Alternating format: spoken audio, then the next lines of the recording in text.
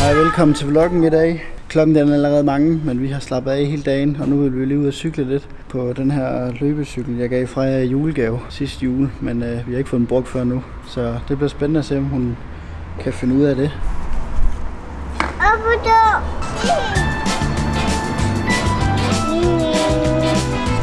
Cykler. Ja, du cykler. Ja. Og den kan bolle. Vil du gerne have en bolle? Ja. Så lad os gå ned og købe en. Altså jeg ved, hun har sådan nogle her, de har sådan nogle løbecykel her i deres vuggestue, så hun burde gerne kunne løbe på den, men det er selvfølgelig en anden slags. Så det kan godt være, at de skal rette den her lidt mere til, så den passer mere i højden og sådan noget, så hun føler, hun har balancen på den. Men øh, nu går vi i Fakta og køber lidt ind, handler lidt ind, og så ser vi, om hun gider cykle hjem igen. Skal vi holde den der?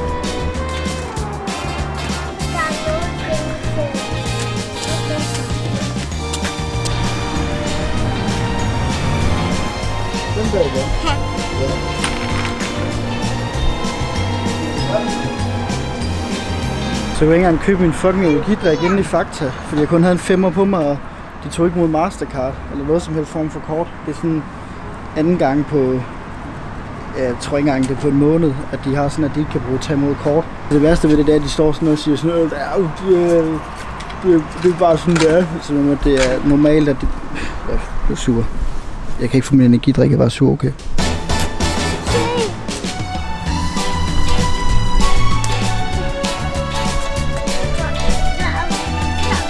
Det kan godt være, at I tænker, at hvad, Kasper, du samler sam- cyklen sammen og frejer op på for at komme ned og købe energidrik?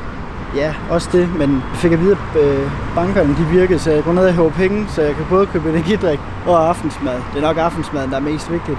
Men øh, jeg tænker, jeg gider ikke at sulte, bare fordi vi ikke øh, kan købe i, nogle andre butikker, uden at skulle over en bank. Så nu cykler vi ned i en bank og hæver penge, og så går vi ind og handler.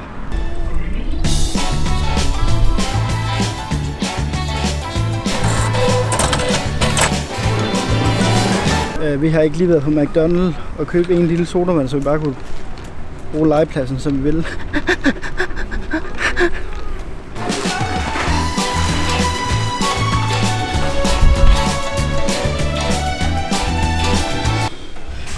Så, nu er klokken halv 11, og det er faktisk tidligt, jeg er færdig med at redigere videoer i dag, men jeg redigerede nemlig noget, der freja sov til middag, så jeg kom meget godt i forkøbet der.